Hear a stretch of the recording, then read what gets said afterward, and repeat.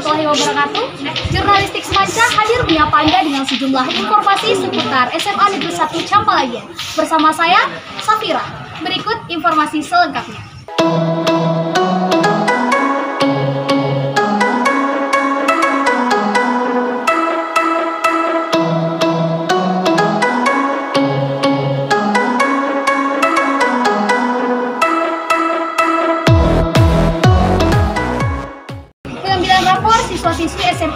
Negeri 1 Campalagian semester 1 atau semester ganjil tahun pelajaran 2022 dilaksanakan secara serentak dan didampingi oleh orang tua atau wali dari siswa. Pengambilan rapor ini dilaksanakan di kelas masing-masing dan dibagikan oleh para wali kelas.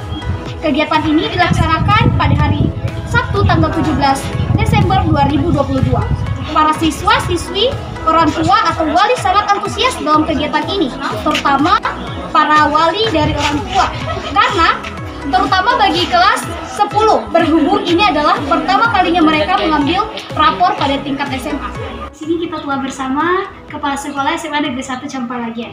Eh, Pak, bagaimana tanggapan Bapak tentang pengambilan rapor tahun ini?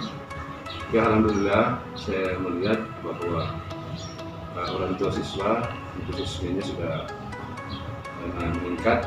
Oleh karena uh, saya lihat tadi secara langsung tua siswa ramai yang datang ke sekolah menerima siswa dan wali wali kemudian uh, wali kelas juga kita sesuai juga kehadirannya. Di penerimaan rapor ini alhamdulillah sudah bagus. Apa ada hal yang berbeda daripada tahun sebelumnya, Pak? Ya biasanya sebelumnya yang mungkin karena pengaruh covid ya kehadiran orang tua di sekolah itu sangat kurang untuk menerima rapornya. Tapi alhamdulillah ini sudah banyak orang tua yang hadir rata-rata hampir habis rapornya wali kelas yang terbagi tadi. Baik, terima kasih atas waktunya, Pak. Di sini kita telah bersama salah satu wali dari siswa. Baik, bagaimana eh, pesan dan kesan Ibu tentang pengambilan rapor tahun ini? Uh, baik, untuk penerimaan rapor tahun ini terkesan lebih baik ya daripada tahun sebelumnya karena kemarin masih terkendala COVID dan sekarang sudah bisa langsung untuk menemui wali guru untuk mengetahui perkembangan dari siswa-siswa kita. Bagaimana pesan dan kesan kakak eh, mengikuti penerimaan rapor pada tahun ini, Kak?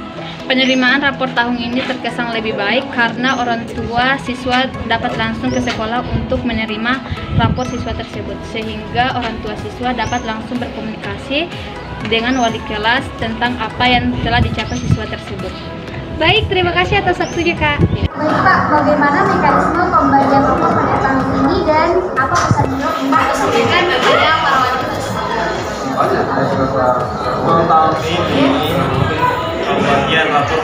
semua siswa teman-teman siswa diberikan rapornya apabila orang tua atau walinya berkunjung ke menerima langsung rapor bersama dengan siswanya. Mengapa begitu? Agar tetap terjalin komunikasi baik antara pihak sekolah dengan orang tua siswa. Jadi orang tua atau wali yang tidak berkunjung hari ini ke sekolah menerima rapornya maka juga dulu nanti komunikasi dengan wali kelas masing-masing untuk menerima rapor itu. Entah gimana cara komunikasinya.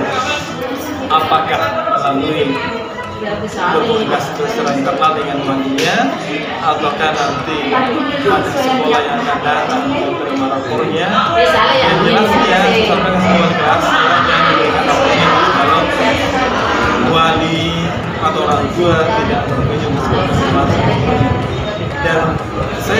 juga bahwa tolong nanti siswa yang belum terima rapornya sampai masuk sekolah semester genap jangan sehingga masuk pelajaran kalau rapornya belum diterima.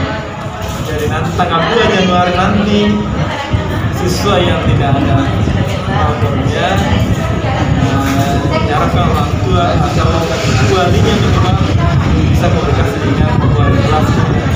Ini kesuksesan anaknya sendiri loh. Ya, seperti itu saya pikir agar anak-anak Jadi kalau ada masalah di sekolah, orang tua tahu. Para masalah di rumahnya, orang pihak sekolah juga tahu kalau ada masalahnya. Sehingga ini anak bisa mengatasi masalah dalam belajarnya, mengatasi masalah dalam apanya sehingga bisa tercapai tujuannya di sekolah. Saya pikir demikian. Demikian informasi terkini seputar SMA Negeri 1 Capalagian. Mewakili kerabat yang bertugas, saya Safira mengucapkan terima kasih atas perhatian Anda. Wassalamualaikum warahmatullahi wabarakatuh.